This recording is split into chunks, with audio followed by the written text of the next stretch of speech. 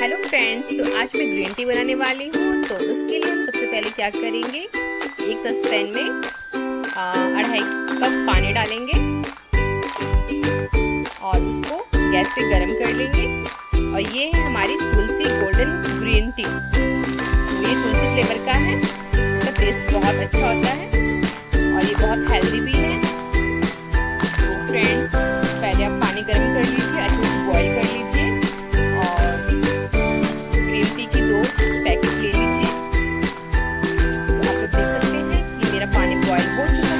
तरह से। अब मैंने दो पैकेट, दोनों पैकेट में से ग्रीन टी को निकाल लिया है और मैंने उसे कप में डाल दिया है। फ्रेंड से ये मैगी से भी ज़्यादा आसान है बनाना।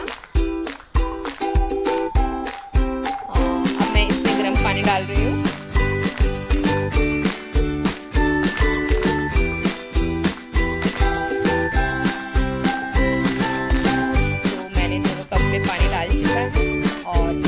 बैठी हूँ। ग्रीन टी को मिक्स कर दीजिए मिला दीजिए।